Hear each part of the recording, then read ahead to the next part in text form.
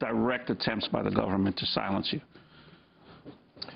Uh, 1997, I think you mean... uh, I'm sorry, in 2007. Yeah, 2000 2006, I believe. Uh, I gave a, I gave a speech in December of 2005 at uh, the American Geophysical Union meeting in which I tried to uh, connect the dots. And the dots extend all the way to um, the role of special interests in, um, in confusing the public, you know, in not allowing uh, straight scientific uh, discussion of what's happening and what's causing it.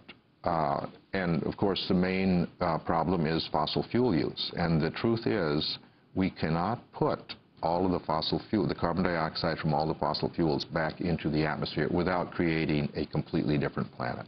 The last time uh, that carbon dioxide was in the atmosphere, there was no ice on the planet. It was a completely different planet.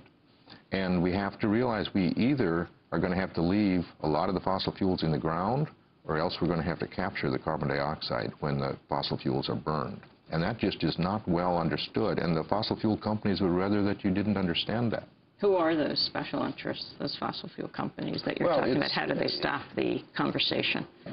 Uh, well, it's the coal industry and it's also the oil industry.